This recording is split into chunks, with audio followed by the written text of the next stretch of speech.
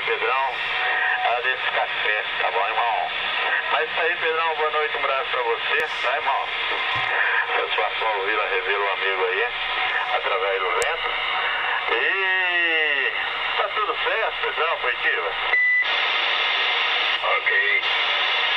Tira hoje, boa noite pra ti. Tá bom, amigo? Satisfação pela consultoria. O pastor da, da minha igreja esteve aqui hoje. Vamos fazer uma visita. Tá bom? As orações aqui, conversar, um, tomar um cafezinho. Tá bom? E foram embora aí. Ok? Mas tá escutando bem também, Araújo, copiando aí o, meu amigo Henrique. Excelente, alto e claro, hein? Quer dizer, Henrique, com permissão do, do nosso amigo Araújo, ele teve um secretário aí, achou que ele chegou rapidinho em casa, né?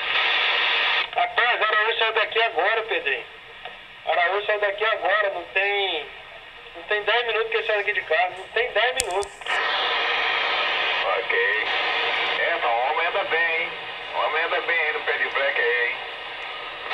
Eu cheguei agora. Toca. Ok, Araújo? Araújo, ó, tô falando longe do microfone, ó. Se eu falar perto, quer ver? Tá tanta força. Falar perto fica muito saturado, Araújo. Positivo, tem que afastado mesmo. Eu cheguei agora, é mole? Você chegou primeiro que o. que o Olímpio, ó, Araújo. Mas não, rapaz, que o Olímpio, eu já andei de carona com ele no tempo que o sogro dele era vivo.